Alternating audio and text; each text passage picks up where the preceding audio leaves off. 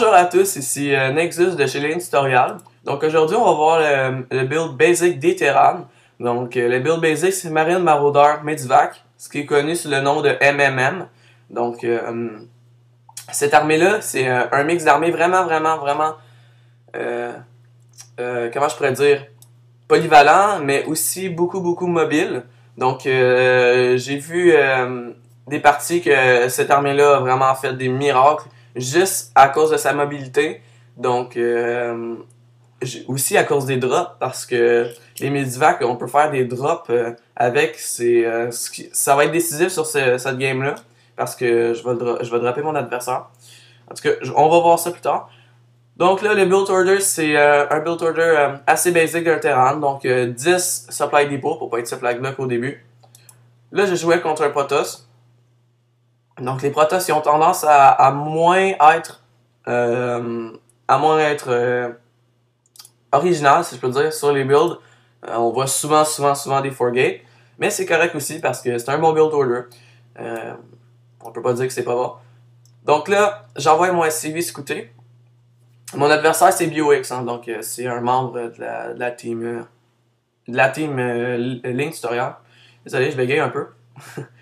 Puis euh, c'est ça. Là, on va mettre notre baraque à 12 et on va mettre le raffinery, euh, dans le fond le gaz, à 13. Donc notre premier euh, gaz, ça va être à 13 pour nous permettre de, mettre des add-ons sur nos trois baraques.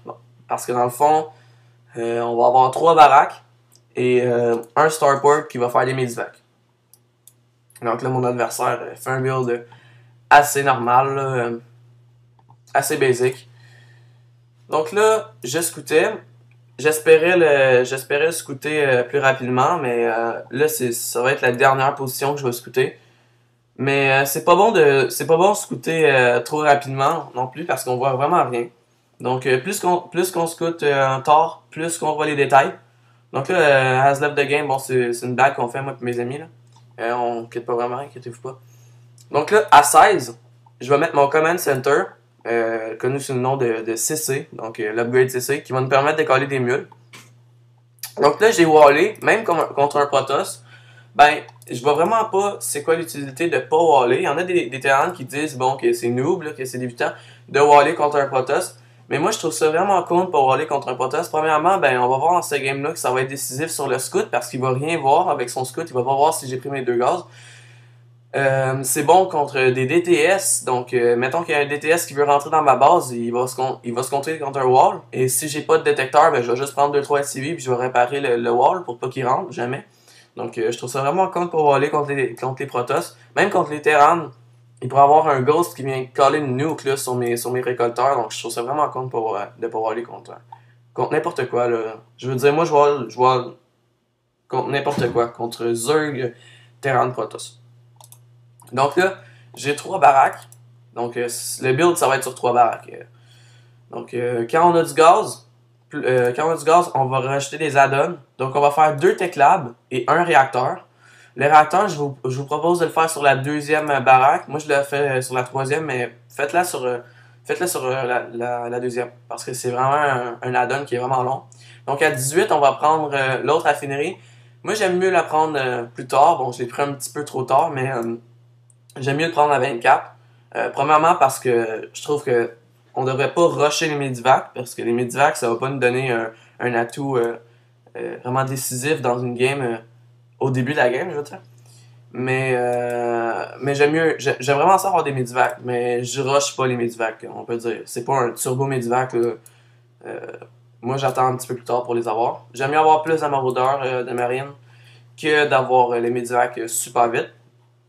Mais on va voir dans ce game-là que je vais les avoir quand même assez vite. Donc là, euh, je mets des supply depot alentour de ma base. Euh, c'est une deuxième utilité des supply depot. C'est pas juste donner de la, euh, nourriture, des supply à, à nos unités. C'est vraiment avoir la vision de la map.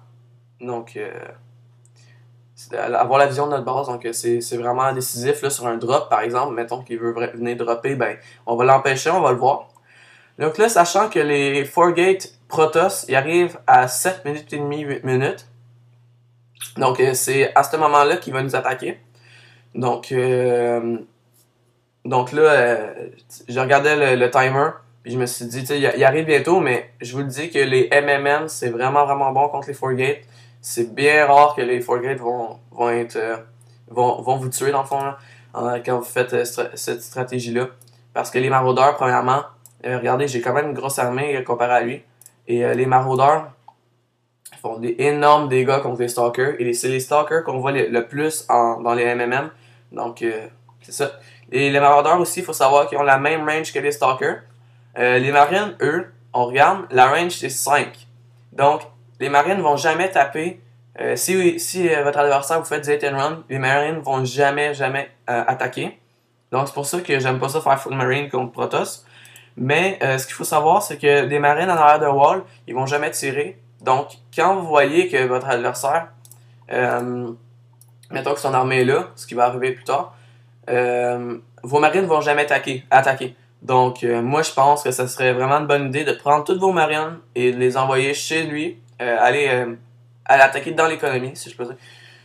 Donc, c'est ça, ça, qui va arriver dans ce game-là. Je vais vous montrer pourquoi j'ai pris cette décision-là. Donc là, j'ai un Medivac, j'ai quand même une grosse armée comparé à mon adversaire. Mon adversaire qui a choisi d'aller plus sur les, les zélotes. Il, il pensait sûrement take up plus tard dans la game. Euh, peut-être partir sur les voids ou quelque chose comme ça. Il a, il a vraiment choisi les élotes. Mais euh, ces zélotes vont jamais attaquer pour la simple raison que j'ai wallé. Donc euh, c'est, vraiment bon. Là. Euh, je comprends pas pourquoi il y a du monde qui wall pas, mais moi j'ai toujours wallé. Donc là, euh, donc c'est ça, il y a une grosse armée composée de zélotes, donc ils vont jamais attaquer. Moi, j'ai vu, quand j'ai descendu ici, j'ai vu des zélotes, donc je me suis dit, ok, il a, fait Forgate. Euh, il est un peu en retard son forget, mais euh, c'est pas grave. Là, c'est, on est ici pour, euh, pour montrer le, build order. Là. donc là, il va, il va essayer de venir m'attaquer, mais vu que j'ai la vision en haut d'un wall, ça va vraiment être ça va vraiment être dur pour lui.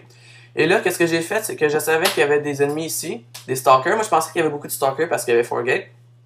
Donc là, j'ai pris toutes les marines parce que les marines vont jamais attaquer contre des stalkers. Les stalkers ils ont plus de range. Donc là, j'ai pris toutes les marines de toute façon, il sert à rien, le bord d'un wall. Et je les ai envoyés dans sa base, comme ça, ça va, ça va monter un peu, un peu la pression. Ah, ok, c'est pour ça son gaz, c'est pour euh, rechercher charge là.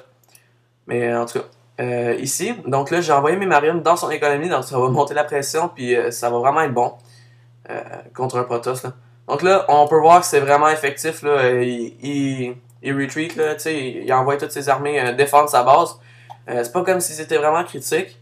Donc j'attaque son économie, là, c'est pas. Euh, c'est pas. Euh, tu sais, je, vais, pas détruire euh, sa base, mais c'est vraiment, vraiment, vraiment dur gérer ça là, pour un Protoss. Là. Quand on a plus d'économie en Protoss, c'est vraiment dur. Là. Là, il y avait beaucoup, beaucoup de gaz, donc il aurait pu faire beaucoup de sentry, mais les sentry, ça attaque pas. Vraiment. Donc là, il amène ses zélotes, c'est pas grave, on ramène tout dans le Medivac, et là, ça m'a permis de sortir sans prendre des, des force fields ici sur le milieu de la rampe, ce que j'aurais vraiment, vraiment pas aimé, parce que j'aurais perdu toute la moitié de mon armée. Donc imaginez-vous cette armée-là, euh, divisée en deux, il aurait pu vraiment la détruire. Donc euh, ça va empêcher de prendre des force fields. Donc là ici, il y a beaucoup de zélotes, on va faire du hit and run. Donc là, même s'il y a charge lot, c'est quand même assez dur de gérer pour lui. Là. Il va pas euh, il va pas avoir vraiment de chance sur cette bataille-là. Et là, il y a essaie de force field, mais il n'y a pas beaucoup de il y a pas assez de sentry. donc c'est vraiment. La, game est finie à ce stade-là. -là, J'ai vraiment quand même une grosse armée Terran. Je continue à produire ici. Donc, j'avais pas vu euh, les Sentry là et euh, les pylons. Mais euh, j'ai mis mon expand parce que moi, à chaque fois que j'expand, à chaque fois que j'attaque, j'expand. Donc, parce que quand on attaque, c'est sûr que le, front, le, le, front de la bataille, si on, peut dire, c'est chez lui. Donc, votre expand est, est safe, en fond. Et là, la game est, finie. Là il n'y a plus de prod, je vais détruire ses pylons, il peut plus rien faire. Donc, euh, c'est vraiment une preuve que les, les MMM en début de partie, c'est vraiment fort contre les Forgate des Protoss. Donc, merci de nous avoir regardé. Et euh, la prochaine épisode, ça va être euh, un épisode Zerg. Donc, merci de nous avoir regardé et à bientôt.